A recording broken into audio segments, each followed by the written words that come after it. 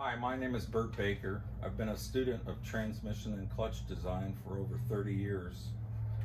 Um, I'm not an expert, but I have learned a few things over the years. What I'd like to do is share some of those things with you today. Let's say you have a transmission that's exhibiting shifting problems, um, upshift, downshift, inability to find neutral, the very first thing you need to do before you crack open the transmission is assess the health of the clutch and the clutch actuator. And um, one of the easiest short tests to establish whether your clutch is healthy or sick is to uh, get the rear wheel off the ground and uh, put the shifter in top gear and pull the clutch all the way in. Now you'll see Scott is going to be rolling over the rear wheel. Um, it rolls, it doesn't roll over easily, but it rolls over. And then you let the clutch out slowly, slowly, slowly.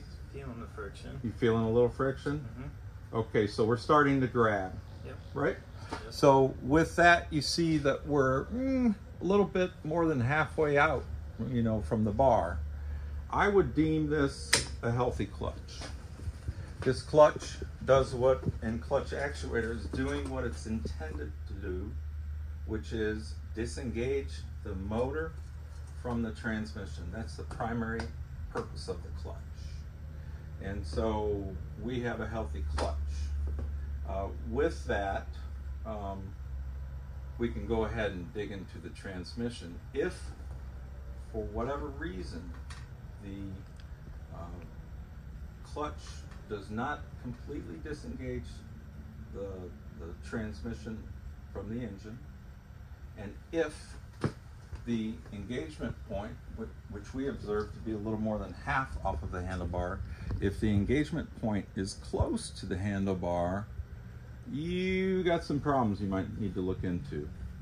If uh, if your clutch actuator is a cable type, uh, it could just be an, an adjustment here and here, or it could be a worn cable. A worn cable will eat up clutch travel. We'll get into that on the next uh, video uh, next month.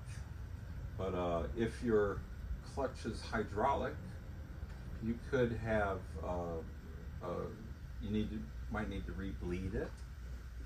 Um, you could also have some worn uh, uh, lever pin up here.